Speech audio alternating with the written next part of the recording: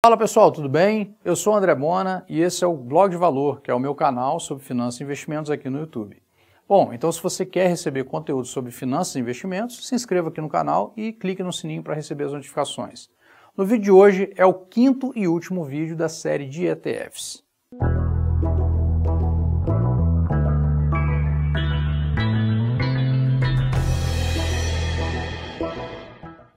Nas últimas semanas, eu apresentei para vocês alguns dos principais ETFs disponíveis no mercado brasileiro e também falei sobre um pouco mais sobre cada um desses fundos de investimentos que podem ser opções muito interessantes para quem procura facilidade, diversificação e baixo custo na hora de fazer um investimento. Hoje nós encerramos nossa série sobre ETFs com o quinto vídeo e a apresentação de mais três outros ETFs disponíveis para negociação no mercado brasileiro. Então vamos a eles aí. O primeiro é o BBSD, né, também conhecido como BBSD11, tá? É, que é um fundo de, que é o Dividendos Brasil. É o primeiro ETF a utilizar como referência o S&P Dividendos Brasil, que é um índice que mede o desempenho das melhores ações pagadoras de dividendos do mercado brasileiro ao longo do tempo. Esse índice foi desenvolvido por um provedor de índices internacional.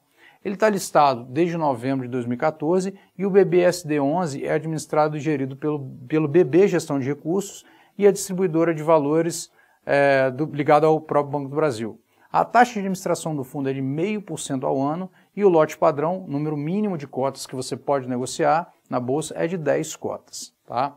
O outro é o BRAX, o BRAX. Né? O BRAX 11 é um ETF baseado no Índice Brasil, que é o IBRX 100, que mede o retorno dos investimentos de uma carteira teórica composta pelas 100 ações mais negociadas na B3, se considerado o volume financeiro e a quantidade de negociações.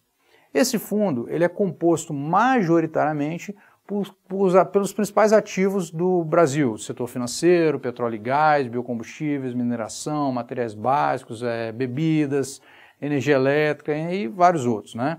O Brax foi listado na Bolsa Brasileira em dezembro de 2009 é administrado pelo Citibank e a gestão do ETF fica por conta da BlackRock Brasil, que é a gestora de investimentos, braço da BlackRock, que é a maior, como a gente sempre está falando sobre ETF, estou lembrando disso, a maior gestora de ativos do mundo. A taxa de administração do fundo é muito baixa, de 0,20% ao ano, e o lote padrão de negociação é de 10 cotas. Tem também o GOV, que é um ETF, o GOV11 é um fundo de investimento que possui o índice de governança corporativa. Né? É isso que ele acompanha, o, o, IGT, o IGCT. Ele é composto por ações do IGC que atendem a critérios de liquidez pré-estabelecidos. A carteira do IGCT é composta por ações de empresas como Bradesco, Eletrobras, Eletropaulo, Gerdau, Gol, Itaúsa, Itaú Unibanco, Vale, entre outras. O fundo GOV11 foi listado na Bolsa Brasileira em outubro de 2011 e é administrado pelo Banco Talcard S.A. A gestão do ETF fica por conta do Banco Itaú e a taxa de administração do GOV11 é de 0,5% ao ano. E o lote padrão para negociação na Bolsa é de 10 cotas. Beleza? Então esses foram mais alguns ETFs aí que a gente passou. O que a gente queria mostrar nessa série para vocês é que o ETF é uma forma simples, de baixo custo, é, de você fazer uma carteira de investimento diversificada e que os ETFs acompanham índices diferentes. Então você não precisa escolher as ações individualmente, mas sim um índice que você queira acompanhar. Perfeito? É o chamado investimento passivo, onde o gestor não vai fazer escolha das empresas por potencial de crescimento, de, de crescimento nem nada disso. Ele vai simplesmente comprar um índice, as carteiras que representam um determinado índice, e seguir aquele índice. Essa é a ideia do ETF baixo custo, diversificação e simplicidade. Essas são as três principais características do ETF. Se você gostou, depois você dá uma estudadinha mais sobre os ETFs, cada um.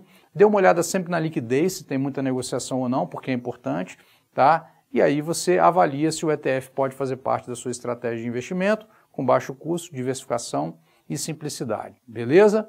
Gostou da série?